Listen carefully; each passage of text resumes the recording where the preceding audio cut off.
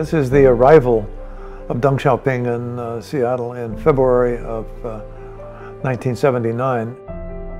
was at the uh, Kennedy Center in Washington. They performed, and this, of course, is Kissinger. You know who this little boy, Ilianjie. This is one of my favorite photographs. It's, it shows Premier Zhu Rongji and his wife. This was 20 years into the normalized relationship between the US and China. Took my mother's soup spoons and we played a game called Digging to China.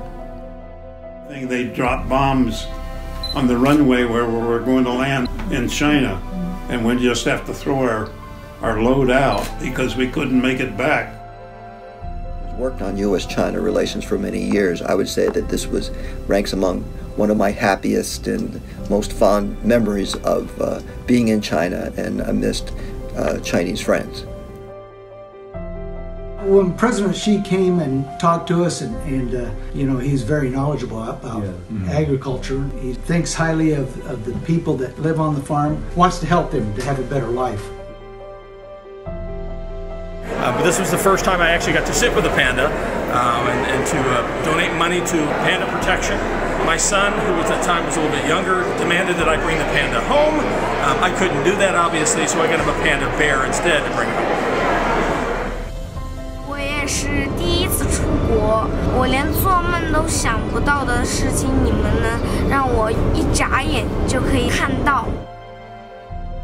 The year 2019 marks the 40th anniversary of diplomatic relations between China and the United States.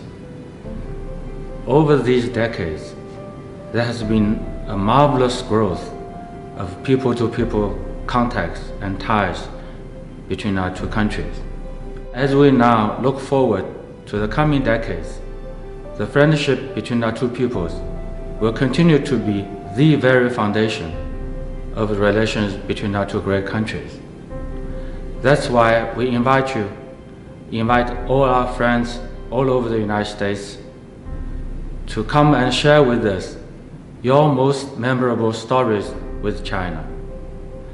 Together, we will build even stronger ties between our peoples, and with your personal stories, you will help make history.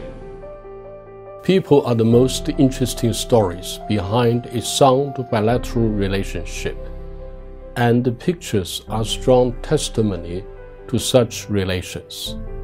I believe when we see your photos and hear the stories to go with them, we will better understand the essence of China US relations, which are really about people. I wish great success to my China album. So come and join us.